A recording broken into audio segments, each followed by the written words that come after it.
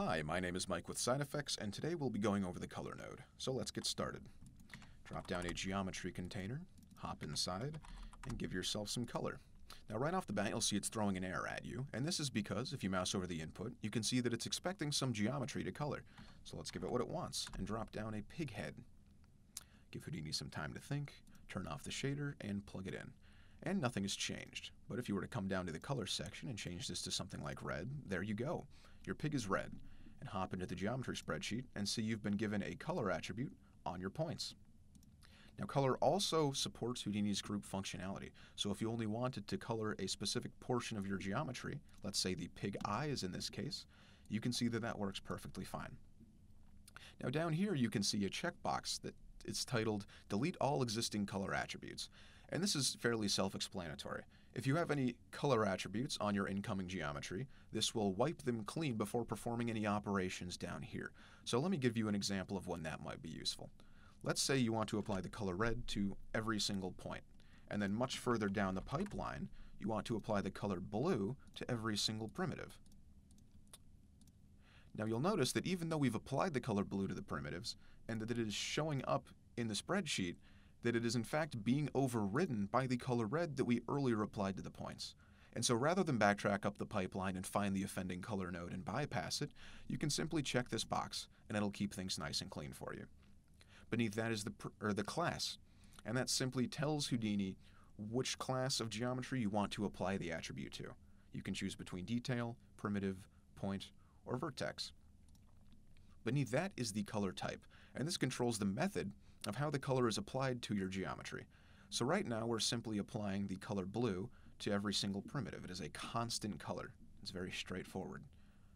Beneath that is the bounding box. And what this does is, in this case, it applies a color to every single primitive based on its location in the relative bounding box of the overall geometry. So let me give you an example of what that means. Let's drop down a bound SOP, plug it in, and template that, and you can see here a visual representation of the bounding box of your geometry. As it gets further to the right, or further along the x value rather, it gets more red. As it gets further along the y value, it gets more green. And as it gets further along z, it gets more blue. And you can see these colors blending together where they should and giving you a nice rainbow pattern. And so that's what's happening when you use the bounding box color type. Let's get rid of that. Beneath bounding box is random, and this does exactly what you'd think. It assigns a random color to each of the specified pieces of geometry. In this case, primitives. It also works for points and vertices. Beneath random is ramp from attribute, and what this does is it takes an incoming attribute and remaps it along your specified color ramp. And so let me give you a better example of what that does. Let's give ourselves a sphere, change it to polygon, drop down a copy and transform node, plug it in. Let's give ourselves, let's say, five spheres. And now we're also going to want to give ourselves a copy number. Now if we jump into the geometry spreadsheet, you can see in the primitive level that this simply numbers each sphere. So the first copy is 0, all the way to the last copy, which is 4. Now we drop down a color node, plug it in, change this to ramp from attribute, match up the class to where the attribute is, in this case it would be primitive, and then type in your attribute, in this case copy num. And right off the bat you can see that nothing has happened, and that's because I forgot to translate. There we go. There we go. And so now you see that only the left sphere is black, and that's because the range of the attribute doesn't match the range of the actual attribute. So let's line that up to something like 4, and there you have it, a nice gradient going from black to white. Let's make this a bit something more visible, like red to blue, and there you go. You can come in here and add additional colors if you want.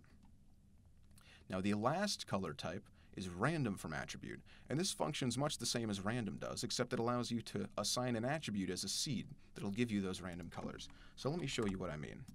Let's drop down a box, Give ourselves a scatter. We're going to fracture this boss, box to get many pieces.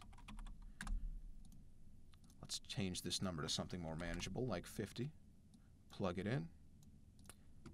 And there you have it. Your box has been fractured. And if you come into the geometry spreadsheet, you'll see that it has given you a name attribute for each broken piece, going from 49 all the way back down to 0. So you can drop down a color node, plug it on in, and again, you have to match the class to where the attribute is. In this case, it would be primitive again. Change this to random from attribute, and type in name. And there you go. Each primitive with a matching name attribute has been assigned a matching color. So now this allows you to easy, easily visualize each individual piece in your fractures. And this has been the color node. Thank you for watching.